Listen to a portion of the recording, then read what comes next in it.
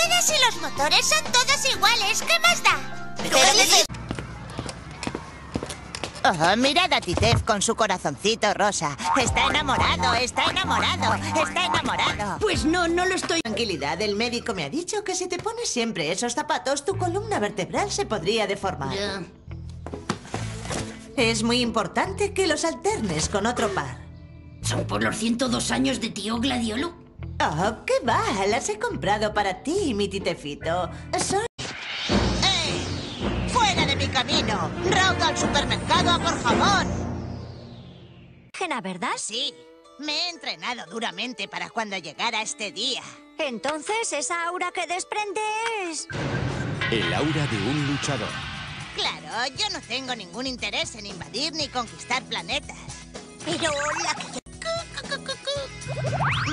voy a llegar tarde a mi combate. Muchas gracias por alojarme, chicos. No tenía que haberme entrometido. Soy tan torpe. No, Drusila es ella. Y Minerva... Si querías que te ayudara, habérmelo dicho, mujer. Espera, llamaré al héroe Salvador. ¡Vestido tan bonito! Gracias. Me voy a comprar fresas para decorar la tarta. Esperadme en casa, ¿vale? Hasta ahora. Anillo muy caro que tu padre me regaló por nuestro aniversario. Su valor en dinero es de unos 500 mil yen.